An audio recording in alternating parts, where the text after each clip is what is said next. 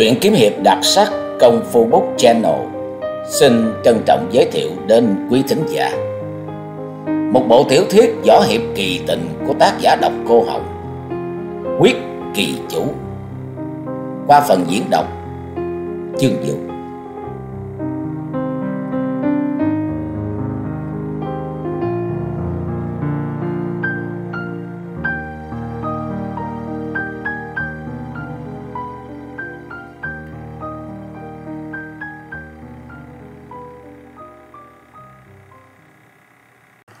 Hầu gia bảo khoát tay. Lão độc hỏi tiểu hầu nhiều quá. Hỏi tiểu hầu có tin vào lão độc hay không? Những câu hỏi buộc hầu gia bảo phải tự nhủ, không thể tin vào những người có độc tâm. Lão độc xa sầm mặt rất giọng. Lão gắt gỏng nói. Người tưởng lão phù giải độc cho ngươi à? Lão chỉ muốn giết ngươi thôi. Ngươi đã hại đinh ngảo, còn muốn lão giải độc cho ngươi ư. Thế thì ngươi đang nằm mơ đó. Hầu gia bảo chẳng bao giờ biết nằm mơ. Ngươi không nằm mơ, sao còn muốn lão giải độc cho ngươi? Lão độc phải giải độc cho tiểu hầu. Ngươi đừng có hòng. Lời còn động trên cửa miệng của lão thì mũi độc châm từ trong tay tiểu hầu đã lướt dục tới. Ghim ngay vào đan điền của lão nhanh như một tia chớp. Hành động bất ngờ của hầu gia bảo khiến cho lão độc đinh gia khánh không kịp có phản ứng gì. Lão rướn người lên rồi thối liền hai bộ nhìn sang hầu gia bảo. Người... Gia Bảo đứng lên khỏi tràng kỹ, nhìn lão độc, vô độc bất trượng phu. Mồ hôi xuất hiện ra chân diện của lão độc Đinh Gia Khánh. Hai cánh môi của lão mấp máy nhưng không sao thốt được thành lời. Hầu Gia Bảo nhếch môi khinh khỉnh rồi nói, Dùng dao sắc cũng có lúc phải đứt tay bởi lưỡi dao sắc bén của mình. Dùng độc công đôi khi cũng mất mạng bởi chính độc công của mình. Hầu Gia Bảo bước đến trước mặt của lão Đinh. Độc chủ muốn giải độc cho Hầu Gia Bảo thì trước tiên phải tự giải độc cho bản thân mình. Người... Hầu Gia Bảo lắc đầu. Hầu Gia Bảo không thích ánh mắt của tiền bối. Người nói tình lão phù, giờ thì lại thay đổi. Bởi Hầu Gia Bảo hiểu người dụng độc không? Hầu Gia Bảo buông tiếng thở dài rồi nói tiếp. Hầu Gia Bảo không nằm mơ chứ. Lão Đinh lắc đầu rồi buông tiếng thở ra. Lão nhìn Hầu Gia Bảo miễn cưỡng nói. Không có giải độc quá giải vô ảnh chi độc. Nếu có giải dược thì độc môn đã không có cái lệ, đã hạ độc thì không bao giờ giải độc. Hầu Gia Bảo lắc đầu. Tiền bối đã để cho Đinh Thiếu Gia sử dụng vô ảnh chi độc mà lại không có giải độc. Chẳng khác nào dụng kiếm mà chẳng biết thủ kiếm. Kẻ dụng kiếm mà không biết thủ kiếm thì có thể mất mạng bởi kiếm đó. Sắc diện cô lão Đinh tái hẳn đi. Lão nhìn Hầu Gia Bảo bằng ánh mắt bồn chồn lo lắng, buông tiếng thở dài, Đinh Gia Khánh miễn cưỡng nói. Chỉ có một người biết giải vô ảnh chi độc. Gia Bảo nhìn lão mỉm cười. Lần này thì Hầu Gia Bảo mới thật sự tin vào lời của lão độc chủ. Lão độc chủ nhìn chăm chăm vào mắt của Hầu Gia Bảo. Gia Bảo nhíu mày giả lả nói. Đại hạ không thích ánh mắt này của độc chủ. Lão Phu nhìn ngươi bởi không tin ngươi có thể khiến người đó giải vô ảnh chi độc cho ngươi. Nói cho gia bảo người đó là ai. Lão độc có thể không khiến được người đó, nhưng tại hạ thì có thể. Biết đâu không xảy ra chuyện phi lý đó chứ. Hầu gia bảo nhếch môi. Đinh độc chủ hẳn cũng không muốn Đinh thiếu gia chết bởi độc công của chính độc môn. Nếu cả lão già Đinh ngảo chết bởi độc công của độc môn, với võ lâm nhất định họ sẽ đàm tiếu. Họ sẽ nói rằng đó là gieo nhân nào gặt quả ấy.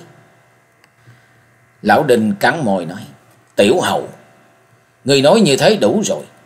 Vậy Tiểu Hầu sẽ không nói nữa. Lão Đinh buông tiếng thở dài với vẻ lưỡng lự một lúc khá lâu. Lão đọc Đinh Gia Khánh nói, Hãy đến cổ am. Gia Bảo ôm quyền từ tốn nói, Nếu tại hạ có được giải độc vô ảnh, lão độc chủ và đinh thiếu gia sẽ không mang tiếng thị phi. Ngược lại thì đây là hậu giận của lão độc và đinh thiếu gia. Gia Bảo nói rồi sải bước bỏ đi thẳng ra ngoài cửa biệt thất, trong khi lão độc chủ ngồi bệt xuống sàn thạch thất. Lưng dựa vào vách, sắc mặt của lão từ từ tái hẳn đi. Hầu Gia Bảo chắp tay sau lưng nhìn màn chứng khí dày đặc bao phủ trước cổ am. Trong phần ba mươi trượng quanh cổ am chẳng có lấy một cọng cỏ, chỉ toàn đá và đá. Với cảnh quan như vậy đủ cho Hầu Gia Bảo biết độc của làng chứng khí đó lợi hại như thế nào rồi. Có thể nói là không một sự sống nào tồn tại được trong màn chứng khí cực độc kia. Hầu Gia Bảo rít một làn chân khí thật sâu, rồi chậm chậm tiến về phía cổ am. Khi y vừa bước vào màn chướng khí bao bọc chung quanh cổ am thì say sẩm mặt mày. Lúc này Hầu Gia Bảo đã bị trúng vô ảnh chi độc mà cả độc khí của Đinh Ngạo. Trong nội thể của Hầu chỉ có độc và độc.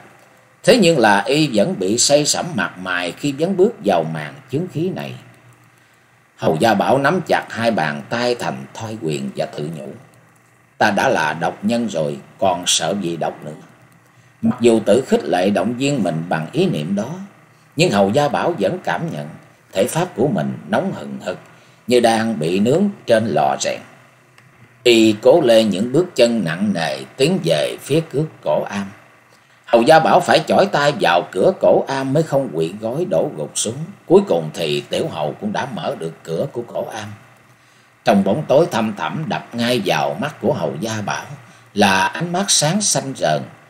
Chỉ thấy thôi người ta cũng đã rùng mình lạnh gái cột sống. Đôi con ngươi xanh rờn đó rọi thẳng vào Hầu Gia Bảo. Đôi con ngươi sáng quát xanh rờn kia buộc người ta phải liên tưởng đến ánh mắt của loài quỷ đói chực chờ nuốt chửng lấy con mồi. Tiểu hầu đứng ngay ngưỡng cửa, định nhãn nhìn về phía ánh mắt ma trơi. Giảng bối hầu gia bảo. Một giọng nói the thé đập vào thính nhĩ của hầu gia bảo, buộc y liên tưởng đến giọng nói của những oan hồn từ cõi u linh A tỳ địa ngục vọng về. Tiểu tử đang chết dần chết mòn phải không? Gia bảo ôm quyền. Không sai. Giảng bối đang chết dần chết mòn. Chết bởi độc công của độc môn. Chết bởi vô ảnh chi độc. Gia Bảo vừa nói vừa thả bước chậm rãi về phía ánh mắt ma trơi.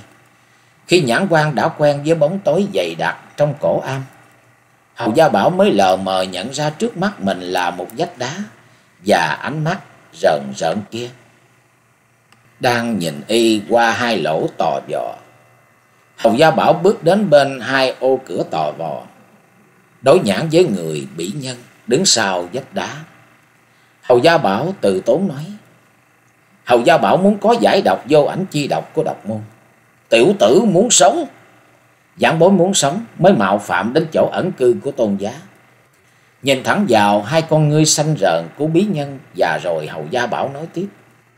Chỉ có tiền bối mới có thể giải được vô ảnh chi độc. Người nghĩ như vậy sao? Tiểu Hầu không tự nghĩ ra mà Chính do độc môn chi chủ Đinh Gia Khánh chỉ lối cho tiểu hậu. Lão độc chỉ cho tiểu tử đúng nơi rồi đó. Nhưng tiểu tử đoán xem ta có giải độc vô ảnh chi độc cho ngươi không? Hầu Gia Bảo ôm quyền từ tốn nói. Nếu như có ai đó cho giảng bối một chén cơm, tất cũng đòi hỏi ở giảng bối đáp lại cái gì đó. Còn tôn giá cho giảng bối một cái mạng, tất phải đòi hỏi ở giảng bối một cái gì nhiều hơn một chén cơm. Chẳng người nào cho không người nào cái gì cả. Huống chi giảng bối tự thân đến thỉnh cầu tiền bối. Tiểu tử người nói đúng. Chẳng ai cho không ai cái gì cả đâu. Con người là như vậy mà. Hầu gia bảo ôm buyền thủ lễ nói. Vậy tiểu hầu và tôn giá đã có thể trao đổi với nhau. Đôi mắt xanh rờn của bí nhân chăm chú nhìn vào hầu gia bảo. Im lặng bao trùm lên cả hai người. Thời gian chậm chậm trôi qua. Hầu Gia Bảo ngỡ như mình đang đứng trước quỷ môn quan mà phía trước là ranh giới sau cùng phần chia giữa sự sống và cái chết. Bí nhân im lặng một lúc rồi nói, ta đồng ý. Vậy tôn giá đòi hỏi ở gì giảng bối? Bí nhân cất lên một giọng cười the thé, nghe cực kỳ trang trọng. Vô ảnh chi độc là độc công tối thượng của ta ta sẽ truyền độc chướng sang cho tiểu tử nhà ngươi để khắc chế vô ảnh chi độc. Nhưng trong một con trăng, tiểu tử nhà ngươi phải lấy cho bằng được ngọc trượng của thiếu lầm tự. Tiểu tử phải giải thoát cho ta ra khỏi cổ am này. Nếu tiểu tử ngươi không làm được điều đó, thì lục phủ ngũ tạng của ngươi sẽ biến thành bùn đất. Hồng Gia Bảo nhớ mày, giả lả nói. Giảng bối nghĩ mình đang cố tránh vỏ dưa thì trượt phải vỏ dừa. Khắc chế được vô ảnh chi độc thì lại trúng phải độc chứng của tôn giá. Không chết bởi vô ảnh chi độc thì lại chết bởi độc chứng Hình như Gia Bảo không còn có đường lựa chọn nào cả, ngoài một cái chết bởi độc công thì phải. Tiểu tử được sống thêm một con trăng nữa, hoặc mất mạng trong cổ am này, đó là sự chọn lựa của tiểu tử. Hầu Gia Bảo nghiêm giọng nói, chết trước một con trăng, và sau một con trăng thì có gì khác nhau chứ? Nếu như ngươi tìm được Ngọc Trượng Thiếu Lâm phóng thích ta ra khỏi nơi đây thì ngươi sẽ không chết sau một con trăng. Nói vậy tôn giá sẽ giải độc chứng cho Hầu Gia Bảo. Ta hứa với người. Gia Bảo gượng cười rồi nói. Được. Tiểu Hầu sẽ tìm sinh lộ trong tử lộ. Tiểu tử hãy bước đến gần đây. Hầu Gia Bảo bước đến sát hai ô cửa tò vò. Tiểu hầu cảm nhận hai luồng khí lạnh lạnh từ hai ô cửa tò vò truyền ngay vào nội thể của chàng.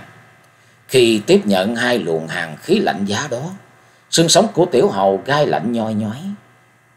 Tiểu hầu tiếp nhận được độc chướng của bí nhân, mà nhủ thầm ở trong đầu. À đúng hay sai đây? Ý niệm đó lóe lên trong đầu của hầu gia bảo thì bí nhân cũng đã lên tiếng nói. Tiểu tử, người đúng là người ta kỳ vọng đó. Nghe lời nói đó của bí nhân, tiểu hầu chẳng dám quan hỷ gì mà ngược lại còn có cảm giác bồn chồn nao nao ở trong lòng. Hầu gia bảo giả lạ hỏi, sao tôn giá lại kỳ vọng vào giảng bối? Tiểu tử có nội lực khác thường, tiểu tử là môn đệ của ai vậy? Giảng bối không thô lộ điều này được. Vậy cũng được.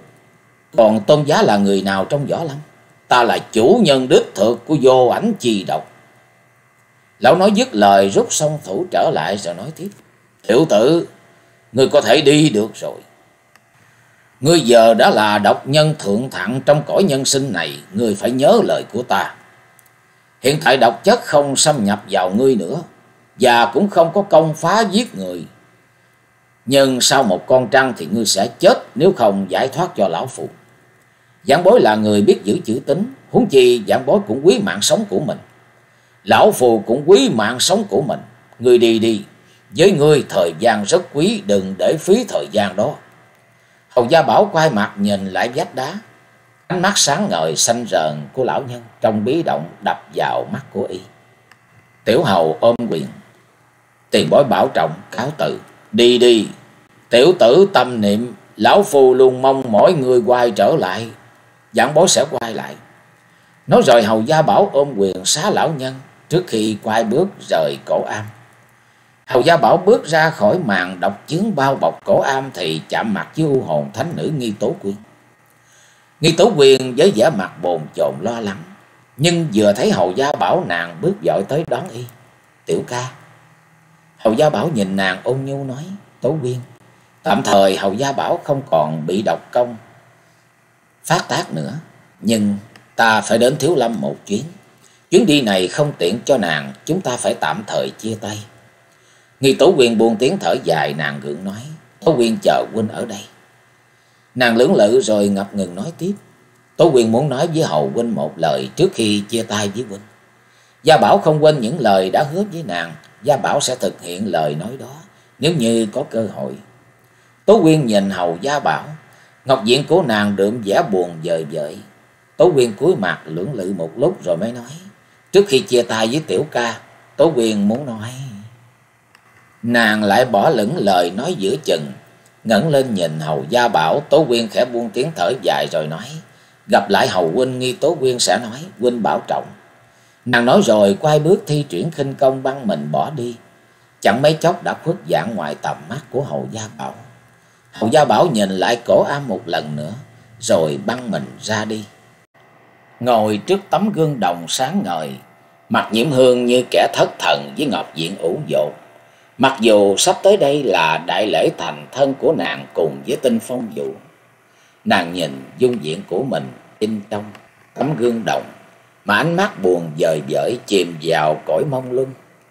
Nàng đang nghĩ đến hầu gia bảo, Nghĩ đến hầu gia bảo trái tim nàng quặn thắt lại. Nhiễm hương nghĩ thầm.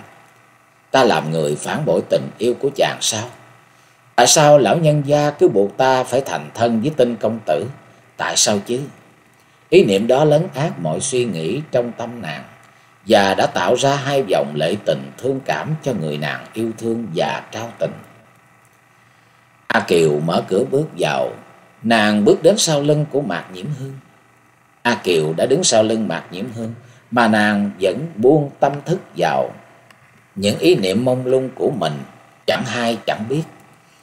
A Kiều buông tiếng thở dài, nghe tiếng thở dài của A Kiều, Mạc nhiễm hương vội dùng ống tay áo thấm hai giọt lệ động ở trên khóe mắt. Nàng nhìn A Kiều, A Kiều mũi. A Kiều nhìn nàng cất giọng nhỏ nhẹ, ôn nhu nói. Tiểu thư khóc đi, Lời nói của A Kiều khiến cho mặt nhiễm hương uất nghẹn hơn.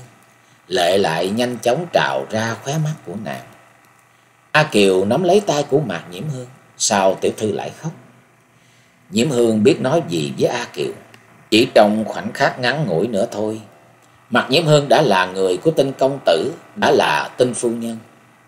A Kiều cắn răng trên vào môi dưới nàng, buông tiếp một tiếng thở dài nữa rồi nói. Nhiễm Hương tiểu thư thành thân với tinh huynh là điều hạnh phúc cho tiểu thư. Sao tiểu thư lại khóc chứ? Tinh huynh là một nam tử hán đại trưởng phu, nên lão nhân gia mới chọn huynh ấy làm hiền tế của người. Nếu tinh huynh là người tầm thường thì lão nhân gia đã không chọn đâu. Nàng nhìn mặt nhiễm hương gượng cười rồi lại nói. Tiểu thư thật là có phúc hơn người. Mặt nhiễm hương buông tiếng thở dài nói. Nhiễm hương biết nói sao để cho A Kiều hiểu nhiễm hương. Tiểu thư không yêu tinh huynh sao? Nhiễm hương im lặng ngồi nhìn ngọc diện của mình trên tấm gương đồng. Nàng buông tiếng thở ra rồi nói. Nhiễm hương ngưỡng mộ tinh huynh nhưng không phải là ngưỡng mộ là yêu huynh ấy. Nói vậy tiểu thư không có tình cảm với tinh huynh. Tinh công tử hiểu điều này hơn ai hết. Nhiễm hương nói ra. A Kiều khẽ thở dài lắc đầu nàng nhỏ nhẹ hỏi. Tiểu thư không yêu tinh huynh, sao lại chấp nhận thành thân với huynh ấy? Đây là ý của lão nhân gia. Đã là ý của lão nhân gia thì ai dám kháng lại chứ? Nhiễm hương chỉ là nhi nữ thường tình. Lão già muốn nhiễm hương thành thân với tinh công tử. Không phải là ý muốn của lão nhân gia nữa mà lại là lệnh của người. Lệnh bắt ta phải thành thân với tinh công tử. Nhiễm hương đâu dám kháng lại ý chỉ đó của lão nhân gia. Khi người ta không yêu mà buộc phải thành thân, đúng là một điều vô cùng đau khổ. A Kiều buông tiếng thở dài rồi lại nói tiếp. A Kiều biết tinh huynh cũng đau khổ vô cùng. Tinh công tử cũng bị bắt buộc nghi nhiễm hương sao? A Kiều cũng không biết huynh ấy có bị bắt buộc hay không. Nhưng huynh ấy hiện thời đang chịu đại tang của phụ thân mình. Đang chịu đại tang của phụ thân mà lại đi thành thân với tiểu thư. Hẳn huynh ấy có điều gì đó khó xử. A Kiều vừa nói dứt lời thì Tào Công Công đã bước vào. Tào Điển chấp hai tay sau lưng, rồi ánh mắt sáng ngời nhìn hai người, lão khẽ tặng hắn một tiếng. A Kiều và Nhiễm Hương đồng đứng lên ôm quyền thủ lệ, tham kiến lão nhân gia. Tào Điển Công Công bước đến trước mặt của Nhiễm Hương và A Kiều, lão nhìn Nhiễm Hương lạnh lùng nói, Giờ hoàng đạo sắp đến rồi, Nhiễm Hương lại chưa trang điểm để hành lễ. A Kiều đỡ lời của Nhiễm Hương. Lão gia, A Kiều sẽ trang điểm cho tiểu thư. Tào Công Công nhìn hai nàng, ánh mắt của lão có vẻ gì đó khe khắc và tàn nhẫn. Tiếp nhận ánh mắt của Tào Điển Công Công, A Kiều không khỏi bối rối. Lão Công Công nói, trang điểm cho thật đẹp. Ta không muốn tình phong vũ nhìn thấy vẻ mặt ủ dột và bơ phờ của tiểu thư đâu. Tào Công Công nói rồi quay bước, Nhiễm Hương gọi lại. Lão gia. Tào Điển Công Công dừng bước nhìn lại nàng. Lão Tào vẻ mặt cực kỳ trang trọng nhìn diễm Hương. Chân diện khe khắc và trang trọng của Tào Công Công làm cho diễm Hương phải cúi mặt nhìn xuống mũi hài của mình. Nàng lý nhí nói. Lão gia, diễm Hương buộc phải thành hôn với tinh công tử sao? Đúng vậy, ta đã quyết định như vậy rồi. diễm Hương thành thân với tinh công tử là quyết định của ta. Đây là cơ hội ta trả ơn cho Gió Lâm Thánh Chủ. Nếu như tinh phong vũ không trở thành hiền tế của Tào Điển Công Công, thì người Gió Lâm sẽ truy sát y. Tinh phong vũ lúc này đây chỉ còn có một chỗ dựa duy nhất đó là ta. Người Gió Lâm buộc phải nể mặt ta mà không quấy nhiễu phong vũ. Tinh Phong Vũ có cơ hội tìm ra bí ẩn sau cái chết của Võ Lâm Thánh Chủ. Lão nhếch môi cười giả lả rồi nói tiếp. Chuẩn bị cho chu đáo đó nhờ. Diễm Hương, đừng để ta mất mặt với người đã chết, cùng với như người đã sống. Nói rồi Tào Công Công quay bước bỏ ra ngoài. Diễm Hương cúi gầm mặt xuống. A Kiều nhìn nàng, nàng lý nhí nói, tiểu thư, A Kiều sẽ trang điểm cho tiểu thư. Diễm Hương ngồi xuống trước bàn trang điểm. Nàng thẫn thờ nhìn nhân dạng của mình in trong tấm gương đồng, mặc nhiên để cho A Kiều trang điểm lại dung nhan. A Kiều chăm chút, từng lọn tóc cho Nhiễm Hương, thỉnh thoảng nàng lại nhìn Nhiễm Hương thông qua tấm gương bồng.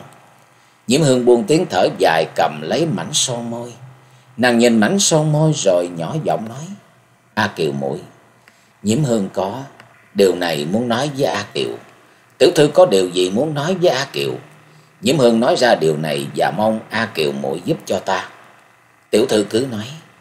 Nếu như điều tiểu thư nhờ A Kiều không vượt ra ngoài khả năng của A Kiều, A Kiều nhất định sẽ giúp tiểu thư không một chút từ nan.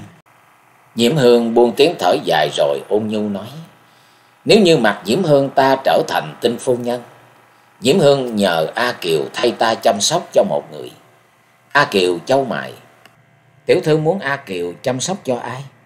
Hầu huynh, hầu gia bảo huynh. Nàng nói ra những lời đó mà nghẹn ngào, dơi nổi dây dứt. Nhiễm Hương nói tiếp, Nhiễm Hương biết hầu huynh sẽ đau khổ vô cùng. A Kiều nhìn Nhiễm Hương buông tiếng thở dài. Tiểu thư yêu hầu gia bảo huynh ư? Nhiễm Hương im lặng, gắn mảnh son môi vào hai cánh môi của nàng. Cùng với hành động đó là hai dòng lệ lại tuôn trào ra khóe mắt. Nàng ngậm chặt mảnh son môi một lúc thật lâu mới đặt nó xuống bàn tan điểm rồi bâng quơ nói. Không biết Hầu Huynh có hiểu được Nhiễm Hương hay không? Hay trong mắt của Huynh ấy Nhiễm Hương là kẻ bội tình? A Kiều khẽ lắc đầu. Nếu Hầu Huynh hiểu tiểu thư sẽ yêu tiểu thư nhiều hơn. Cuộc hôn phối của tiểu thư với tinh huynh không chỉ có mình tiểu thư đau khổ, mà còn nhiều người đau khổ nữa. Nhiễm Hương lắc đầu rồi rùng mình khi nghe lời nói này của A Kiều. Nàng bâng quơ nói, ta phải làm sao bây giờ? Nàng ngẩng lên nhìn A Kiều. A Kiều, muội hãy nói cho Nhiễm Hương biết, Nhiễm Hương phải làm sao đây? Lời này của Nhiễm Hương khiến cho A Kiều bối rối. Nàng nhìn Nhiễm Hương miễn cưỡng nói, A Kiều không biết chỉ cho tiểu thư phải làm gì. Nàng nói rồi cúi gầm mặt xuống Lý Nhí nói, tất cả đều là do thiên ý. Nàng buông tiếng thở dài nói tiếp, lão nhân gia đã quyết định như vậy rồi, thì đâu còn ai cản được lão nhân gia. Nhiễm Hương lắc đầu, ta không định đoạt được số phận của mình. A Kiều buông tiếng thở dài. Tiểu thư, thời gian đã không còn nhiều nữa. A Kiều lui bước. A Kiều có nhận lời Nhiễm Hương hay không? A Kiều nghe Nhiễm Hương hỏi, nhưng lại im lặng không đáp lời nàng, mà lẳng lặng lui bước ra khỏi biệt phòng của Nhiễm Hương. Còn lại một mình Nhiễm Hương cảm thấy cô đơn và trống vắng. Nàng nhìn mình trong tấm gương đồng nhỏ bé nói, Gia Bảo Vinh, diễm Hương đã phụ huynh rồi. Trên đại đường thiên dân cát, ngoài bàn hương án được bài trí đơn sơ chẳng có đại yến đại tiệc, cũng chẳng có khách mời, ngoài một người duy nhất chủ lễ là Tào Điển Công Công. Người thứ hai phụ lễ là A Kiều. Tinh Phong Vũ và Nhiễm Hương dẫn lễ phục Tân Lan và Tân Nương đứng trước bàn hương án. A Kiều bậm hai cánh môi vào nhau nhìn chàng, vẻ mặt của nàng phản phất nỗi u buồn, không thể thốt thành lời. Trong khi chân diện của Tinh Phong Vũ lộ vẻ vô hồn vô cảm, như một lớp sáp phủ trên ngoài. A Kiều gượng nói, nhất bái thiên địa. Phong Vũ cùng Mạc Nhiễm Hương quỳ xuống trước bàn hương án hành đại lễ. Chờ cho tinh Phong Vũ và Nhiễm Hương hành đại lễ xong, A Kiều phải rít một hàng chân khí thật sâu, cố nén những cảm xúc bồi hồi rồi nói tiếp, nhị bái cao đường. Tinh Phong Vũ và Mạc Nhiễm Hương hướng về Tàu Công Công quỳ bái. A Kiều nhìn hai người hành đại lễ bái Tàu Điển Công Công, mà cúi mặt nhìn xuống. Đôi thu nhãn của nàng cay xè với cảm giác u uất đang càng khỏa lấp mọi suy nghĩ. Phong Vũ và Nhiễm Hương hành đại lễ bái Tàu Điển. Lão ve cầm, Điểm một nụ cười mỉm rất quan hỷ. Vừa mỉm cười Tào Công Công vừa khẽ gật đầu. Khi Phong Vũ và Nhiễm Hương hành bái xong, chờ A Kiều sướng tiếp nhưng A Kiều lại cúi mặt không thốt lời nào. Không nghe A Kiều sướng, Tào Điển Công Công nhíu mày nhìn nàng. Lão Tằng hắn rồi nói, A Kiều. A Kiều ngẩng mặt nhìn lên nhỏ nhẹ nói, có nô nữ. Nàng thốt ra lời đó mà bật nấc nghẹn ngào. Tào Công Công quát mắt và đanh giọng nói. Người sao vậy? A Kiều bối rối nàng gượng nói. À, nô nữ. Tào Công Công nhíu hẳn đôi chân mày rậm. Sao không tiếp tục? Dạ. A Kiều nhìn xuống tinh phong vũ và nhiễm hương. Nàng cắn răng trên giọng môi dưới cố nén lắm. Mơi gượng sướng. Phù thề. Nàng chỉ mới nói được bấy nhiêu thì bật khóc rồi dục bỏ chạy ra ngoài. tàu điển công công xa sầm mặt xuống bật đứng lên. Hai cánh môi của ông gắn chặt vào nhau. tay chấp ra sau lưng. Chân diện của lão bỗng chốc thay đổi với vẻ lầm lì lạ thường. Lão hừ nhạt rồi nhìn lại tinh phong vũ và mạc nhiễm hương. Tào công công trang trọng nói. Phù thề vào bái. Tinh phong vũ và nhiễm hương đối mặt nhìn nhau. Với tinh phong vũ, vẻ mặt lạnh lùng vô cảm thì ngọc diện của mặt nhiễm hương lại là một nỗi ưu sầu ai quán. Cả hai đồng khẽ buông một tiếng thở dài, rồi ôm quyền toan bái lẫn nhau thì bất thình lình. U hồn thánh nữ nghi tố quyên bước vào. U hồn thánh nữ xuất hiện dơi giả mặt nạ của ngọc quỷ. Che hẳn đi chân diện của mình. Vừa bước vào nghi tố quyên vừa nói. Bốn cô nương không chấp nhận điều này. Tào công công xa sầm mặt định nhãn nhìn u hồn thánh nữ nghi tố quyên lão gằn giọng nói. Quỷ nữ, đây là thời khắc thành thân trọng đại của ái nữ lão phù. Người dám đường đột khinh xuất đến quấy nhiễu sau. Nghi tố quyên nhìn phong vũ và mặt nhiễm hương. Nàng trang trọng nói. Bốn cô nương không phải đến để quấy nhiễu tào công công mà muốn ngăn chặn một việc làm. Đáng ra không nên để nó xảy ra. Nàng nhìn nhiễm hương rồi nhạt nhẽo nói. Nhiễm hương tiểu thư, hẳn chấp nhận cuộc hôn nhân này chỉ vì bị bắt buộc mà thôi. Còn tinh công tử cũng chẳng hơn gì nhiễm hương. Có đúng không? Hai người chẳng có tình cảm gì với nhau mà lại gượng ép thành thân với nhau. Như vậy có hạnh phúc gì đâu. Tào công công hừ nhạt rồi nói. Quỷ nữ! Ngươi không được mời mà dám đến thiên dân cát của bổn công công quấy nhiễu thật là đáng tội. Hẳn là quỷ nữ không muốn sống nữa rồi. Bốn cô nương đâu có muốn chết, mà chỉ muốn chứng nghiệm một sự thật thôi. Chỉ cần bốn cô nương chứng nghiệm được sự thật thì ta sẽ bỏ đi ngay. Nàng nhìn Phong Vũ và Nhiễm Hương. Nhiễm Hương tiểu thư có thành tâm muốn trao thân nâng khăn sửa túi với tình Phong Vũ công tử không? Nhiễm Hương im lặng không đáp lời nàng. Tào Điển Công Công quát mắt nói, quỷ nữ, người tự cho mình cái quyền quyết định thay cả bốn công công sau. Vừa nói ra lời nói đó, Tào Điển Công Công chớp động thân pháp lướt dục đến bên nghi tố quyền. Trĩ thủ của lão ta dương ra, chợp đến yết hầu của nàng, không một chút e dè, hai ngần ngại. U hồn thánh nữ dựng ngọc trưởng tiếp thẳng lấy quỷ trảo của Tào Công Công, chát một tiếng. Sau âm thanh khô khóc đó, ngọc Chưởng của nàng dính chặt vào quỷ trảo của Tào Công Công. Tào Điển Công Công hừ nhạt rồi nói, Bản lĩnh có bấy nhiêu mà đòi nhát ma nhát quỷ trước mặt bốn công công. Quỷ nữ chết đi cho rồi. Vừa nói Tào Công Công vừa giật nghi tố quyên về phía sau. Sau khi giao thủ trực diện với Tào Công Công, u hồn thánh nữ nghi tố quyên còn nhộn nhạo khinh lạc. Mặt mày say sẩm cánh tay tê dại, chưa kịp rút chưởng pháp trở về thì đã bị kéo đến phía trước. Nàng chới giới, muốn trì thân pháp lại nhưng lực bất tòng tâm. Đến lúc đó nàng mới nghiệm ra mình chẳng phải là đối thủ của Tào Công Công. Nhưng khi phát hiện ra thì đã quá muộn rồi. Tào Công Công vừa kéo nghi tố quyên về phía lão vừa phát động tiếp chỉ công toan điểm vào yết hầu của nàng. Bóng sát tử thần hiện hữu ngay trước mặt của nghi tố quyên. Mà lưỡi hái của sứ giả thần chết chính là chỉ pháp của Tào Điển. Nàng gần như là đã được định đoạt bởi chỉ pháp của Tào Công Công. Nhưng tên phong vũ đã lướt tới dụng chỉ công hứng lấy chỉ pháp của Tào Điển. Chát một tiếng, chân diện của Tào Điển đanh lại. Tên phong vũ, Phong Vũ ôm quyền, lão nhân gia, hôm nay là đại lễ thành thân của Phong Vũ và Nhiễm Hương. Chẳng lẽ lại đại để cho máu chảy hay sao? Tào Điển hừ nhạt rồi rút trảo công trở về. Phong Vũ xá tàu Điển, còn đa tạ lão nhân gia. Tào Điển lườm nghi tố quyên rồi gắt giọng nói, quỷ nữ, mau rời khỏi nơi đây, trước khi bổn công công phẫn nộ trừng phạt ngươi. Phong Vũ ôm quyền thủ lễ nói, lão gia, vị cô nương đây muốn biết sự thật. Phong Vũ sẽ cho cô ta biết sự thật. Chàng nói rồi nhìn lại u hồn thánh nữ nghi tố quyên. Cô nương có thể cho tại hạ biết chân diện mục thật sự không? Nghi tố Quyên lột ngay chiếc mặt nạ ngọc quỷ nhân. Phong Vũ nhíu mày nói. U hồn thánh nữ nghi tố Quyên, cô nương là người của quỷ đế. Không sai. Nếu nghi cô nương cho tại hạ biết quỷ đế là ai, tại hạ sẽ cho cô nương biết sự thật vì sao tại hạ phải thành thân với nhiễm hương. Nghi tố Quyên nhìn chàng rồi nói. Cả võ lâm đều biết quỷ đế là võ lâm thánh chủ phụ thân của công tử mà. Thư công tử còn hỏi nghi tố quyên, nếu như công tử hỏi mà cho rằng quỷ đế không phải là phụ thân của công tử thì nghi tố quyên chỉ có thể nói cho công tử biết.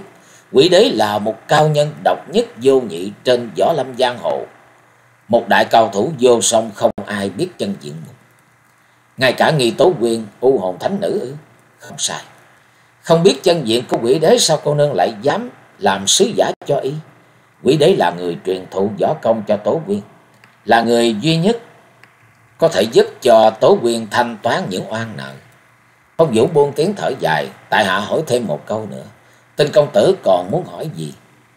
Tại sao cô nương ngăn cản cuộc hôn nhân của tinh phong vũ dơi mặt nhiễm hương vậy? Nghi Tố Quyên hành sự. Nghi Tố Quyên ngập ngừng rồi miễn cưỡng nói. Bốn cô nương hành sự vì một người. Hầu Gia Bảo. Hầu huynh sánh duyên cùng với mặt nhiễm hương tiểu thư xứng đáng hơn tinh công tử. Tinh phong vũ công tử chỉ là kẻ ngăn trở tình yêu của hai người. Phong vũ nhìn vào mắt của nghi tố viên. Nghi tố viên cô nương nghĩ vậy sao? Bốn cô nương nghĩ vậy và nghĩ đúng. Nhiễm hương tiểu thư không có tình với phong vũ đâu. Đừng gượng ép nàng. Phong vũ nhếch môi gượng cười nói. Ai hạ sẽ thành thân với mặt nhiễm hương. Đôi chân mày lá liễu của nghi tố viên nhíu lại. Nàng nhìn sững vào tinh phong vũ. Công tử. Hầu huynh có hận tinh phong vũ thì cứ hận. Còn phong vũ đã quyết định như vậy rồi. Nghi tố quyên khẽ lắc đầu. Nàng nhìn tinh phong vũ rồi buông tiếng thở dài khe khẽ. Nàng gượng nói. Ta không còn gì để nói với tinh công tử. Cáo tử. U hồn thánh nữ nghi tố quyên nói rồi quay bước bỏ đi thẳng một mạch ra ngoài. Tinh phong vũ chờ cho u hồn thánh nữ nghi tố quyên đi rồi mới bước lại bên mạc nhiễm hương. Quỳ xuống trước mặt mạc nhiễm hương, phong vũ lạnh lùng nói. Phù thề vào bái. Nói dứt lời tinh phong vũ chủ động hành bái. Nhiễm hương quỳ gói như thể bị trời trọng, không có biểu hiện gì đáp trả. Lại hành vi đó của tinh phong vũ. Mặt nhiễm hương ngồi trên mọc sàn trải thảm. Làn xả hương thoang thoảng từ bộ lễ phục tân nương xông vào khứu giác nàng. Nàng quay mặt nhìn xuống mũi hài, có đến những hạt ngọc trai lóng ánh. Để phản chiếu ánh sáng từ hạt giá chân đèn, trái tim của nàng đập thình thịch với nỗi hồi hộp không cùng. Tân Phong Vũ dẫn một bộ đồ lễ phục tân lan ngồi bên bàn. Chàng không ngừng uống rượu mà có vẻ thờ ơ với Mạc Nhiễm Hương. Ngăn cách hai người là một quãng. Không gian có vẻ xa vời vợi. Mỗi người dõi theo một ý niệm riêng của mình. Diễm Hương im lặng còn tên Phong Vũ thì uống rượu.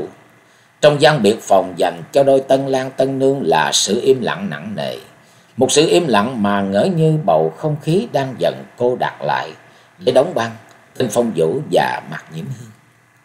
Phong Vũ bưng cả giò rượu tu ẩn ực cho đến khi cạn quách, chẳng còn một giọt nào mới đặt xuống bàn rồi đứng lên.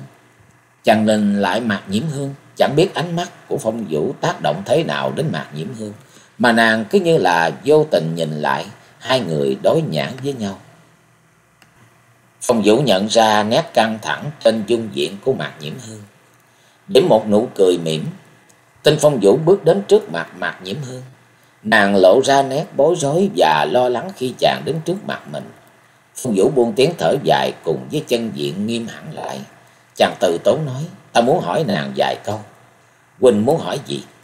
Phong Vũ chấp hai tay ra sau lưng, rít một làn chân khí thật sâu rồi nói. Nàng yêu hầu gia bảo chứ? Diễm Hương nhìn lên Phong Vũ, rồi khẽ gật đầu. Điều đó huynh đã biết. Hầu huynh cũng là một anh hùng trong thiên hạ, nhưng lại không được lão nhân gia chọn. Phong Vũ gượng cười. Phong Vũ cũng có nghe và biết về tiểu hầu. Anh hùng trong võ lâm tìm được một người như hầu gia bảo có lẽ là đếm trên đầu ngón tay. Tinh Phong Vũ nhướng mày nói tiếp. Hầu gia bảo yêu nàng chứ. Nhiễm Hương gật đầu. Hầu gia bảo ấy yêu Nhiễm Hương. Nhưng huynh ấy còn có nhiều việc phải gánh vác và buộc đẩy tình sang một bên. Ai sinh ra làm người cũng đều có chức nghiệp phải gánh vác cả. Phong Vũ khoanh tay trước ngực. Chàng nhìn nhiễm hương buông tiếng thở dài rồi từ tốn nói. Hẳn là nàng hận ta. Bởi vì ta mà nàng phải chấp nhận một cuộc hôn nhân mà mình không muốn. Nhiễm hương cúi mặt nhìn xuống. Nhiễm hương nhỏ giọng nói. Huynh cũng là một đại anh hùng. Nhưng chỉ tiếc nhiễm hương và Huynh lại không có duyên và phận. Phong Vũ nhìn nàng mỉm cười. Ta và nàng không có duyên và phận. Nhưng lại buộc là phu phụ. Nghĩ cũng nực cười. Thật tâm mà nói, ta không có ý ngăn trở nàng với hầu gia bảo, nhưng ta buộc phải thành thân với nàng. Nhiễm hương nóng bừng mặt, nàng nhỏ giọng nói, đây là ý của lão gia. Nói rồi mặt nhiễm hương buông tiếng thở dài nàng miễn cưỡng nói, nhiễm hương không có sự lựa chọn nào cả. Phong Vũ gượng cười nhìn nhiễm hương ôn nhu nói, ta có điều này muốn nói với nàng. Quỳnh muốn nói gì? Ta và nàng dù đã tới trời bái đất thành phu phụ, nhưng giữa ta và nàng lại không có duyên nợ. Diễm Hương cắn môi trên, nhìn Tinh Phong Vũ. Tinh Phong Vũ biết như vậy. Sao vẫn chấp nhận thành thân với Mạc Nhiễm Hương? Bởi ta cũng như nàng không có sự lựa chọn nào khác cho riêng mình. Phong Vũ buông tiếng thở dài rồi nói tiếp. Trong tâm thức của ta lúc này đây, chỉ duy nhất một ý niệm đó là tìm ra quỷ đế. Quỷ đế là mối ám ảnh duy nhất của tinh phong vũ ta. Ngoài ra chẳng còn gì khác. Ta ôm mối hận quỷ đế ở trong tâm. Nhưng vẫn phải thành hôn với nàng bởi vì. Tinh phong vũ ngưng lời quay bước trở lại bàn. Bưng lấy cả giò rượu dốc lên miệng tu ừng ực. Chàng uống rượu mà cứ ngỡ như là đang khát nước cùng cực. Đặt giò rượu xuống bàn, tinh vũ lại nhìn nhiễm hương. Phong vũ lại nói tiếp. Bởi chỉ có thành thân với mặt Nhiễm Hương, Phong Vũ mới chính thức bước vào tàu gia. Có bước chân vào tàu gia, Phong Vũ mới có cơ may tầm thù rửa hận quỷ đế. Buông tiếng thở dài, Phong Vũ nói tiếp. Tinh Phong Vũ không muốn làm kẻ đoạt tình, nhưng ta phải buộc làm kẻ đoạt tình, thì mới có thể tìm được cơ hội trả thù cho phụ thân mình. Tinh Phong Vũ ngồi xuống ghế, bưng lấy giò rượu, chàng dốc lên miệng tu ừng ực, đặt giò rượu xuống trước mặt, Phong Vũ bâng quơ nói. Ta cũng như nàng, chỉ có một sự lựa chọn. Đặt hai bàn tay lên bàn, Phong Vũ bâng quơ nhìn về phía trước. Chàng bâng quơ nói, Phong Vũ sẽ không để nàng trở thành người bội tình với Hầu Huynh. Nàng chỉ cần giữ bí mật này đừng lộ với ai. Khi ta và Tào lão gia rời thiên dân cát, nàng có thể đi tìm Hầu Gia Bảo. diễm Hương nhìn tin Phong Vũ, Phong Vũ mỉm cười từ tốn nói. Nàng đi nghỉ đi. Đêm nay đối với ta và nàng sẽ dài lắm đó. Nhưng nhất định trời sẽ sáng. Diễm Hương đứng lên ôm quyền từ tốn nói. Nhiễm Hương vô cùng cảm kích tinh huynh đã giữ cho Nhiễm Hương. Nàng không cần phải khách sáo như vậy. Ta biết mình nên dừng lại ở giới hạn nào. Chàng nói rồi bưng giò rượu tu luôn một ngụm dài. Nhiễm Hương nhìn Phong Vũ uống rượu mà không khỏi chạnh lòng thương cảm nàng có thể thấm thấu được nỗi đau đớn đang dài dò nội tâm của Phong Vũ. Phong Vũ ôm giò rượu bước về phía trước loan phòng. Diễm Hương miễn cưỡng hỏi, huynh đi đâu vậy? Ta muốn nàng có một giấc ngủ an lành trong đêm nay. Nói rồi, tinh Phong Vũ đẩy cửa bước ra ngoài mái hiên. Tiết trời đêm với những ngọn gió xa lạnh thổi vào người của chàng. Ngồi xuống thềm dốc giò rượu tu tiếp một ngụm dài nữa. Phong Vũ dõi mắt nhìn bầu trời đêm đầy sao, chàng lẩm nhẩm đọc một bài phú.